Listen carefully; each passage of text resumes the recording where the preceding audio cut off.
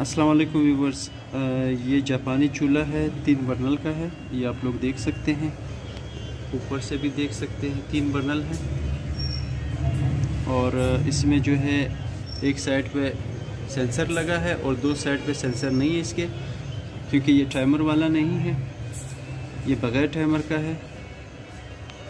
और इसको मैं सिलेंडर के साथ चेक कर रहा हूँ। ये आप लोग देख सकते हैं, सिलेंडर पड़ा हुआ है। इसको प्रेस करने के बाद, कुछ देर पकड़ने के बाद छोड़ दिया जाता है। देखिए, फिर ये आग कम होता है, ज़्यादा होता है यहाँ से। और ये बैक साइड है। हवा चल रही है तो इस वजह से आग बेतरतीब है और ये अवन है। ये अनटच चूल्हा है। बिल्कुल न्यू ज़ीरो मीटर है। ये आप लोग देख सकते हैं। क्योंकि ये सिलेंडर के साथ चेक हो रहा है तो आग जो है वो बेतरतीब है। क्योंकि सिलेंडर का प्रेशर बहुत ज़्यादा होता है, जिसकी वजह से ये आप लोग देख सकते हैं इसको।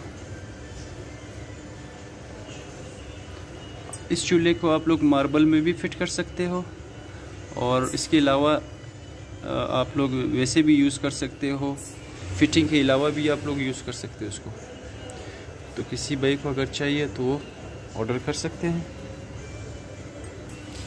डिलीवरी पूरे पाकिस्तान में अवेलेबल है। इसका लुक आप लोग देख सकते हैं चूल्हे का।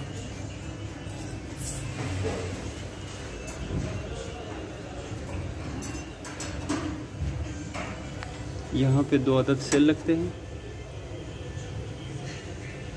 और ये लॉक है सेव करने के लिए बच्चों से सेव करने के लिए लॉक लगा है